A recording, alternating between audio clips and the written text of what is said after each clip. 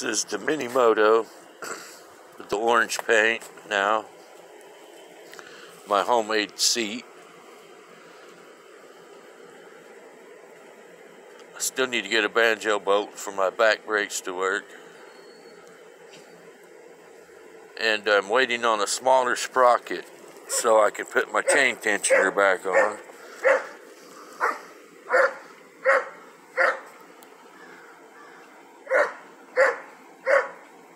Oh yeah, my pull cord broke. I got some ski rope in there for now. So I got to replace that. Just waiting on parts, but I didn't film any of this because I haven't using my cell phone. It's hard to hold and work on this stuff, so. If people like these videos, then uh, I'll start making more of them with a different camera.